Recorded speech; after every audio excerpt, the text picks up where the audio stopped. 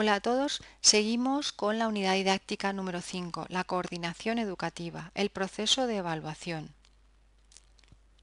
Veíamos que esta unidad didáctica número 5 tenía tres grandes apartados.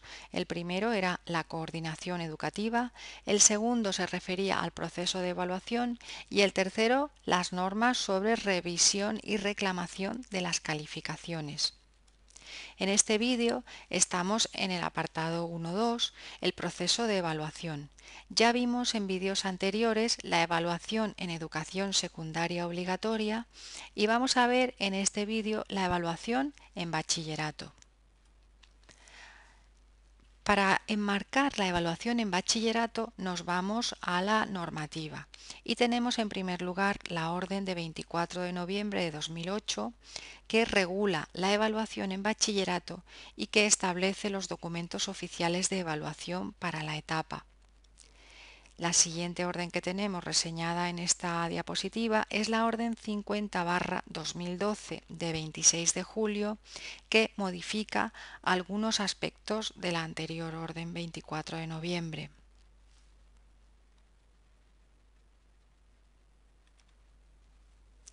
La normativa establece que la evaluación del aprendizaje de los alumnos en bachillerato debe ser continua y diferenciada según las distintas materias. Hay que tener en cuenta los referentes del currículo. Y los referentes del currículo los encontramos en los criterios de evaluación que aparecen en este decreto 102 barra 2008 de 11 de julio por el que se establece el currículo del bachillerato en la comunidad valenciana. Estos referentes están adaptados al centro y al alumnado del mismo. Los criterios, estrategias e instrumentos de evaluación están establecidos ya previamente en el proyecto educativo y en las programaciones didácticas.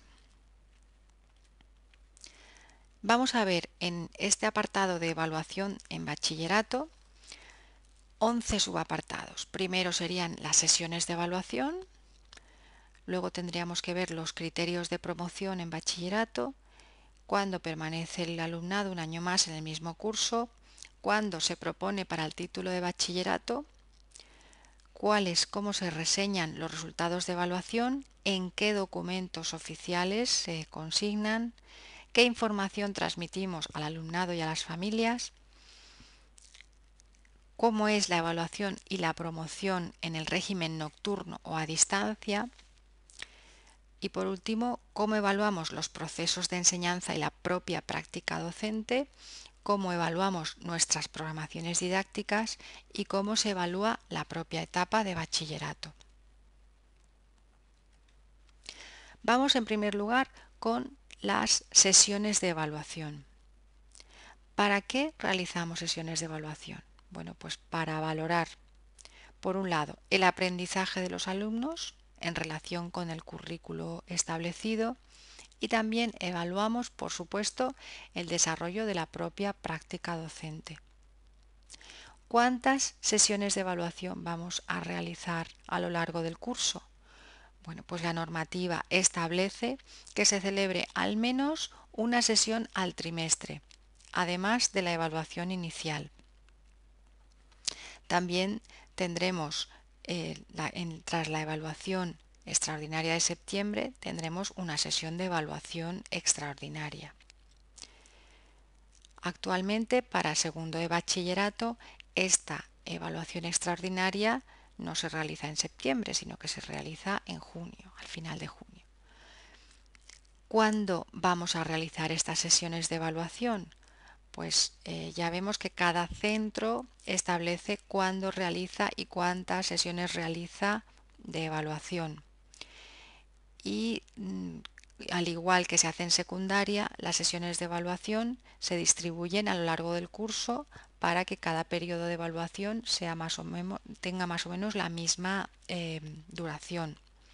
Se divide el total de días lectivos entre el número de evaluaciones que tengamos y así obtendremos los periodos de evaluación. Hay que tener en cuenta que en segundo de bachillerato la evaluación final se realiza con anterioridad al resto de los cursos y niveles de secundaria y bachillerato, puesto que deben realizar las pruebas de acceso a la universidad.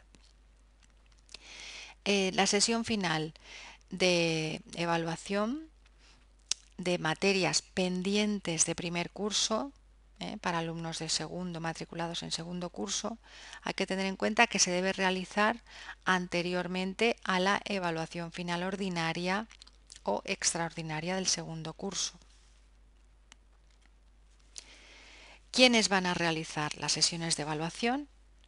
Pues la van a realizar el equipo docente que está constituido por todo el profesorado del grupo de alumnos y por supuesto coordinado esta sesión, este grupo docente y esta sesión de evaluación coordinada por el tutor.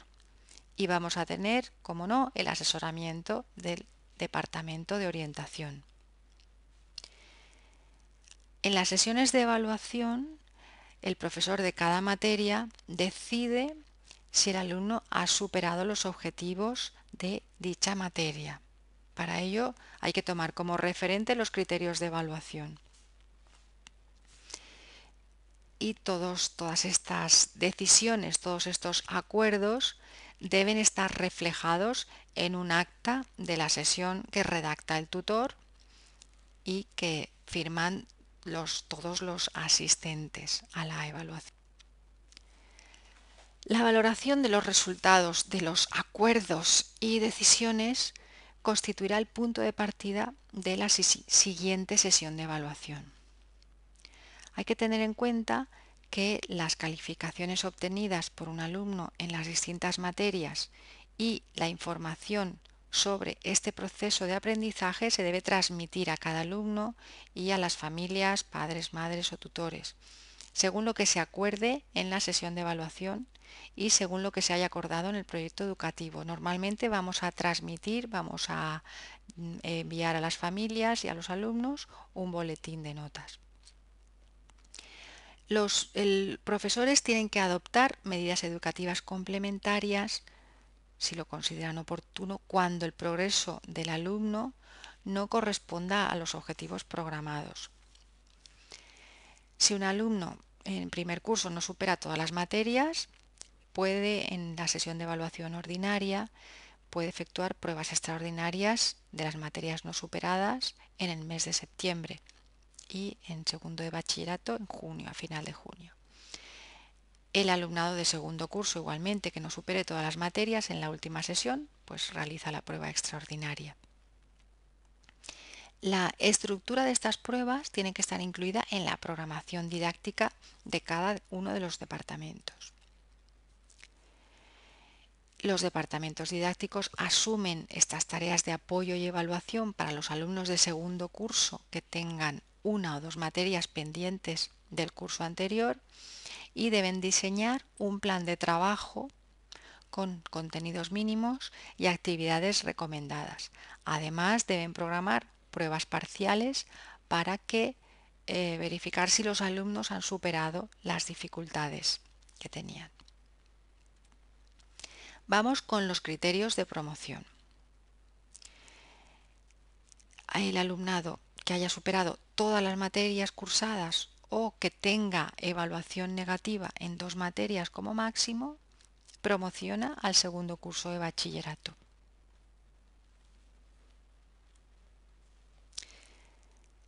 La evaluación final de los alumnos de segundo curso con materias pendientes de primer curso con idéntica denominación o con contenidos total o parcialmente progresivos está condicionada a la superación de cada materia cursada en primer curso. Y algunas materias que se cursan en segundo requieren conocimientos incluidos en la correspondiente materia de primero. Esto está establecido en la normativa y en la unidad didáctica lo tenemos reflejado en las tablas de las páginas 40 y 41. De manera que para superar en segundo curso la materia de valenciano, lengua y literatura 2, hay que haber superado previamente valenciano, lengua y literatura 1. Estos serían materias con idéntica denominación. O bien, para superar en segundo curso la materia de biología, hay que superar previamente biología y geología, que es la correspondiente en primero, porque eh, la biología de segundo requiere conocimientos incluidos en esta que mencionamos de primero.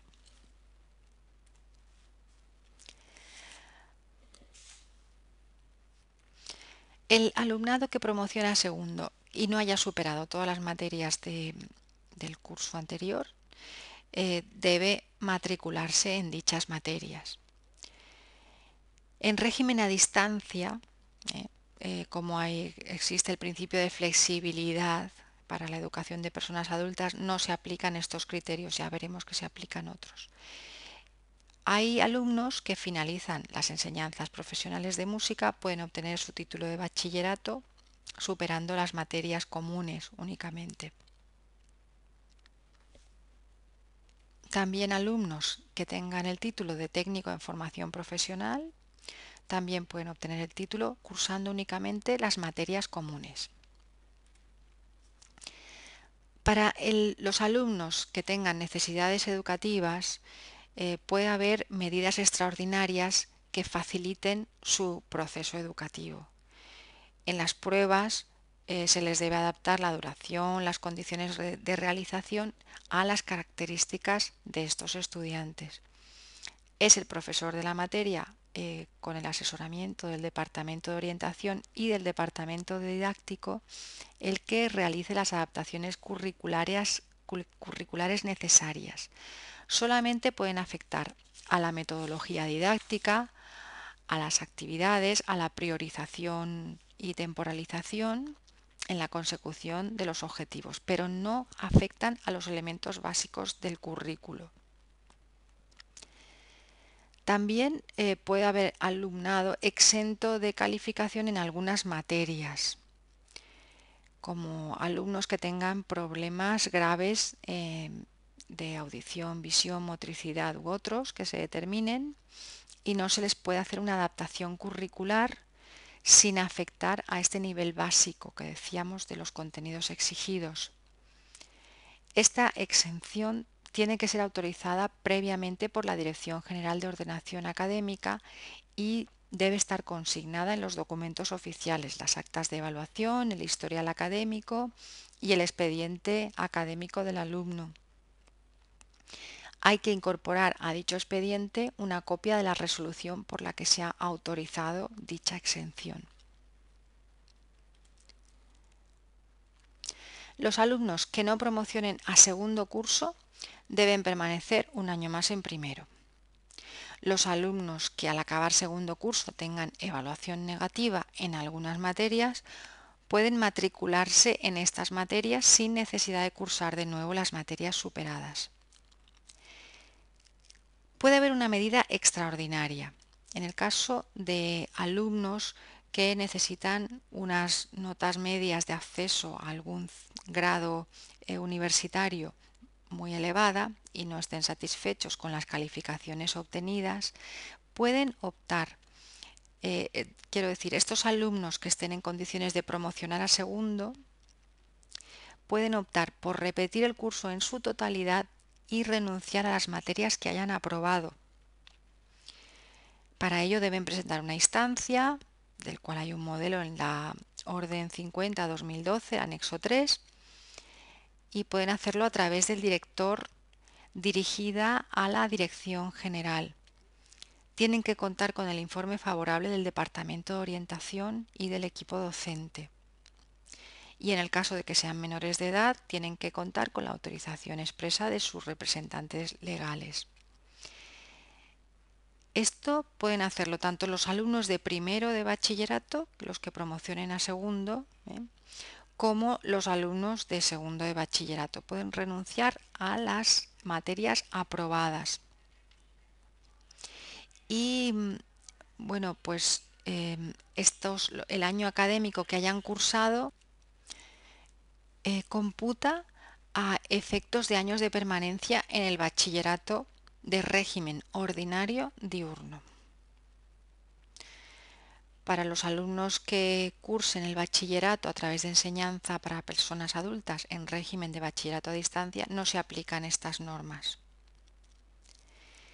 La permanencia en bachillerato en régimen ordinario diurno es de cuatro años académicos como máximo. Y en el caso de que agoten el límite de permanencia en esta etapa en régimen ordinario diurno, pueden seguir las enseñanzas de bachillerato en régimen nocturno o a distancia, y esto sin límite de convocatorias. Los alumnos que cursen bachillerato en régimen nocturno y que no promocionen a segundo permanecen un año más en primero, pero únicamente cursan las materias suspensas. También se puede solicitar la anulación de la matrícula al director del centro y pueden solicitarlo aquellos alumnos en régimen ordinario que estén en alguna circunstancia excepcional, como una enfermedad prolongada, como que se hayan incorporado a un puesto de trabajo, como que hayan tenido obligaciones ineludibles personales o familiares que no hayan podido tener la normal dedicación al estudio y hay un periodo para solicitar estas, em, estas anulaciones de matrícula y es antes de finalizar el mes de abril se realizan al director del centro y el director debe resolverla, pero para ello tiene que escuchar al equipo docente y tiene que escuchar al departamento de orientación. Si se deniega esta solicitud, pues se puede elevar un recurso ante la Dirección Territorial de Educación.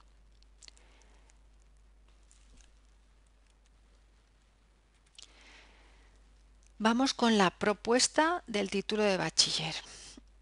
Eh, pueden obtener el título de bachiller los alumnos que tengan evaluación positiva en todas y cada una de los dos cursos de bachillerato. También para los alumnos que finalicen enseñanzas profesionales de música o danza, obtienen el título de bachillerato si superan, ya lo hemos comentado, las materias comunes. Y aquellos alumnos que tengan un título de técnico de formación profesional, porque hayan cursado un ciclo formativo de grado superior, pueden obtener el título de bachillerato si superan las materias comunes del bachillerato. Este título de bachillerato eh, faculta para acceder a las enseñanzas de educación superior. Vamos con los resultados de evaluación. Los resultados de evaluación se expresan con calificaciones numéricas de 0 a 10. Esta vez sí que aparece el 0 en bachillerato. Y se consideran negativas las inferiores a 5 y positivas las restantes. La evaluación de la religión católica se realiza en los mismos términos y con los mismos efectos.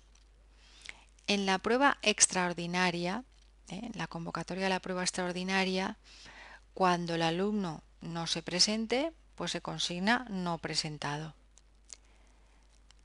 La matrícula de honor se consigna con la diligencia MH en el acta eh, final ordinaria en el expediente académico y en el historial académico. Y se puede mencionar a los alumnos que hayan superado todas las materias y que hayan obtenido una nota media igual o superior a 9 puntos. Se puede conceder a un alumno por cada 20 matriculados o por cada fracción total de estudiantes del curso. Para la calificación global del bachillerato calcularemos la media aritmética de las calificaciones de todas las materias de todo el bachillerato eh, redondeada a la centésima más próxima y en caso de equidistancia a la superior.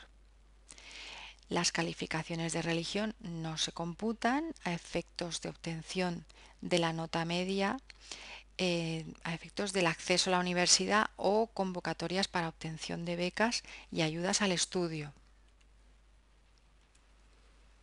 Para calcular la nota media de la etapa, eh, según cómo se ha obtenido el título, En primer lugar, los alumnos que acceden a bachillerato con el título de técnico de formación profesional y que ha cursado las materias comunes tendrán su nota media con las calificaciones de todas las materias de bachillerato eh,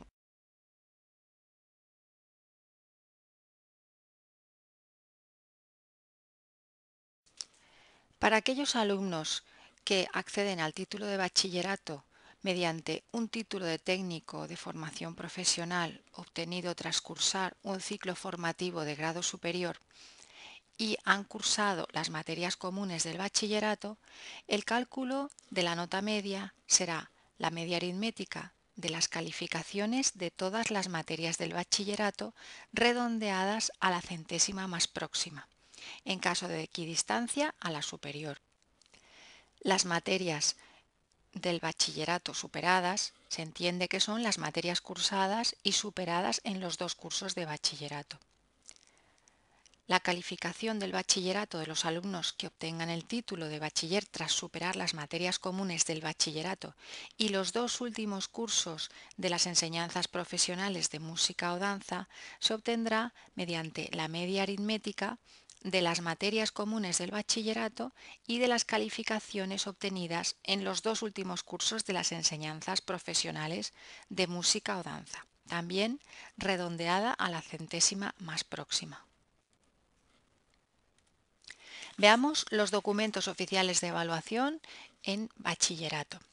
Tenemos cuatro documentos oficiales, el expediente académico, las actas de evaluación, el informe personal por traslado y el historial académico de bachillerato.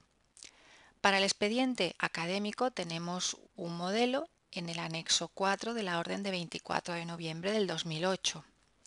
En este expediente académico se recoge de forma sintética la información sobre el proceso de evaluación del alumno. En las actas de evaluación también tenemos un modelo en la orden de 24 de noviembre del 2008 según el anexo 5.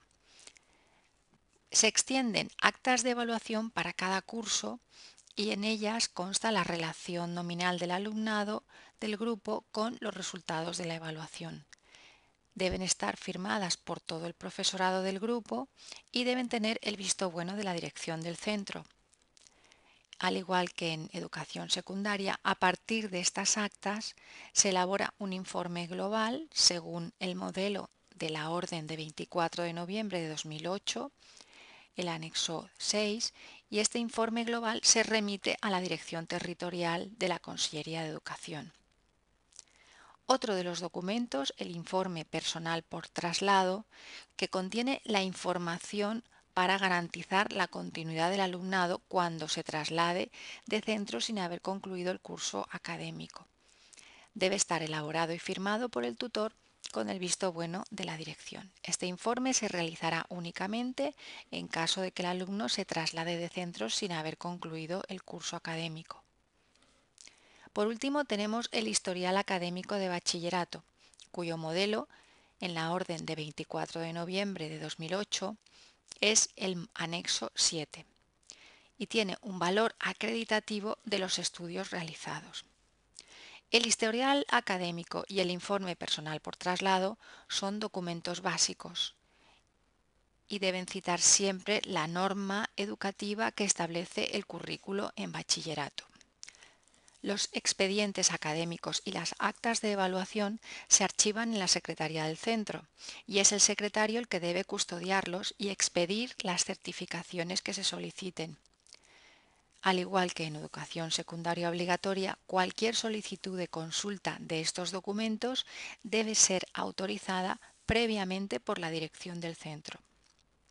En caso de que el alumno se traslade de una comunidad autónoma con lengua propia cooficial con el castellano a un centro de la comunidad valenciana, las calificaciones de esta materia tienen la misma validez que las materias restantes del currículo, aunque si la calificación de dicha materia fuese negativa, no se computará como pendiente ni tendrá efectos académicos. Cuando se traslade de centro sin haber concluido sus estudios, el centro de origen remitirá al de destino y a petición de éste el historial académico del alumno y en el caso de que haya concluido el curso, el informe personal por traslado. El centro receptor del alumno custodia el historial académico de bachillerato y abre el expediente académico del alumno. La matriculación es definitiva cuando se ha recibido el historial académico debidamente cumplimentado. En el caso de que se incorpore a un centro extranjero en España o en el exterior que no imparte enseñanzas del sistema educativo español, no se traslada el historial académico, sino que se remite una certificación académica y dicho historial continúa custodiado por el último centro en el que cursó eh, estudios del sistema educativo español hasta su posible reincorporación a estas enseñanzas o hasta la entrega al alumno tras la conclusión de los estudios extranjeros equivalentes al bachillerato. Veamos la información que se emite al alumnado y a las familias tras la sesión de evaluación. Cada centro docente debe informar sobre criterios y procedimientos de evaluación establecidos de acuerdo con los objetivos y contenidos programados. Veíamos que al principio de curso deben conocerlo todos los alumnos y también el, profesorado tutor debe realizar una reunión con las familias y exponerles todos estos objetivos y contenidos. Esta información, además, debe estar disponible durante todo el curso para el alumnado y para las familias. Tras cada sesión de evaluación, el tutor informa por escrito al alumnado y a las familias del alumnado menor de edad sobre el desarrollo del proceso educativo y las calificaciones obtenidas. Y además informará de aquella información que se acuerde, de aquellos datos que se acuerde en la sesión de evaluación. Siempre se entrega el boletín de notas, pero puede ir acompañado con algunas observaciones o se puede tener una entrevista personal con el alumno o con las familias para Em, darle toda esta información que hemos acordado en la sesión de evaluación. Este modelo de documento, que es el boletín, lo determina cada centro educativo y forma parte del proyecto educativo. Los padres, al igual que en educación secundaria obligatoria, deben conocer, participar y apoyar el proceso educativo de sus hijos y colaborar con el profesorado y con los centros. Veamos la evaluación y promoción en régimen nocturno o a distancia. El alumnado que curse bachillerato en régimen nocturno no debe volver a cursar las materias ya superadas en ningún bloque o curso. En régimen a distancia no debe repetir en ningún curso las materias superadas tampoco. No está sometido a limitación temporal de permanencia de cuatro años y cuando haya superado uno o varios ejercicios en la prueba libre para mayores de 20 años para obtener de forma directa el título de bachiller, puede solicitar la equivalencia entre los ejercicios con calificación positiva y la superación de estas materias en bachillerato en régimen nocturno o a distancia. A lo largo del curso se realizan al menos tres evaluaciones, distribuidas por trimestres. Las pruebas son presenciales y escritas. También se realizarán dos evaluaciones finales, una ordinaria y otra extraordinaria. Cuando el alumno curse bachillerato en régimen nocturno, ya hemos comentado que no debe volver a cursar las materias superadas en ningún bloque, sean en el módulo A o curso en el módulo B, independientemente de que el alumno no, encuentre no se encuentre se encuentre en condiciones de promocionar o no promocionar al bloque o curso siguiente. Las incompatibilidades del modelo A se pueden producir entre materias de bloques diferentes, mientras que en el modelo B son entre materias de cursos diferentes. Veamos la evaluación de los procesos de enseñanza y de la práctica docente. Al finalizar el curso académico, el profesorado debe evaluar, además del aprendizaje del alumno, los procesos de enseñanza y su propia práctica docente. Debe tomar como referencia los fines y objetivos establecidos en el currículo del bachillerato. Al menos se incluirán los siguientes elementos. La concreción del currículo del bachillerato, que ya vimos que se establecía en el proyecto educativo. La organización y gestión de espacios, tiempos y recursos del centro. La acción coordinada y coherente del equipo docente.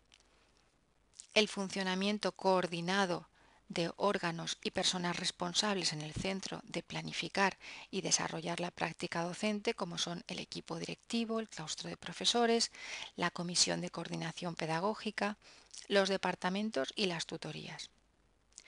También debe incluir la regularidad y adecuación en el intercambio de información con alumnado y con sus familias, en lo relativo a objetivos, contenidos y criterios de evaluación y las valoraciones sobre el proceso de enseñanza y aprendizaje. Los resultados de esta evaluación deben quedar reflejados en los documentos correspondientes y en la memoria anual de centro. Es necesario detectar las dificultades producidas en los procesos de enseñanza y aprendizaje, averiguar sus causas y modificar los aspectos de la práctica docente que sean poco adecuados. Veamos la evaluación de las programaciones didácticas. Al finalizar cada curso académico, el profesorado, por departamentos, debe evaluar la programación didáctica, tomando como referencia el currículo que para cada materia se contempla en el decreto 102-2008 de 11 de julio del Consejo, en el que se establece el currículo del bachillerato en la Comunidad Valenciana. La evaluación de cada programación didáctica debe referirse al menos a los siguientes elementos. Como siempre en el primer apartado, la concreción de objetivos, contenidos y criterios de evaluación. La planificación temporal, la selección de contenidos que se consideran básicos para el progreso educativo del alumnado y su promoción a cursos sucesivos o estudios superiores, las medidas ordinarias y extraordinarias, las estrategias didácticas y los criterios de evaluación previstos para facilitar al alumnado la superación de las materias los métodos, estrategias y recursos didácticos, los procedimientos e instrumentos para evaluar los aprendizajes y seguir su proceso, los resultados obtenidos por los alumnos en las pruebas de acceso a la universidad. Los resultados de la evaluación deben quedar reflejados en el libro de actas del departamento para, en su caso, adecuar las actividades de enseñanza y aprendizaje programadas y los métodos, estrategias y recursos didácticos adoptados. Por último, veamos la evaluación de la etapa. Al igual que en educación secundaria, la Consellería de Educación puede realizar evaluaciones externas a todo el alumnado al finalizar cualquiera de los cursos del bachillerato. Los centros deben utilizar estos resultados para organizar medidas dirigidos a mejorar la atención al alumnado y garantizar que alcance todos los objetivos de la etapa. Las evaluaciones de la etapa permitirán, con la evaluación de los procesos de enseñanza y la práctica docente, analizar, valorar y